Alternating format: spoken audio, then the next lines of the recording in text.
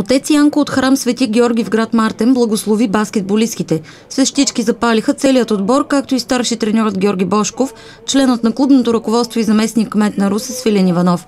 Отец Янко поръси присъстващите с богоявленска светена вода и им пожела да са здрави и да постигнат много успехи с Божията благословия.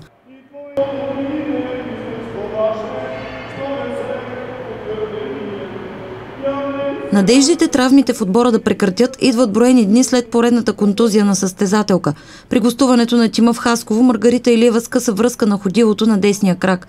Физиотерапевтът на Дунав 8806 обясни, че за 20 дни кракът на Илиева ще е обездвижен с гипс, а едва след това ще се мисли за рехабилитация. Отборът започна първенството с редица здравословни проблеми.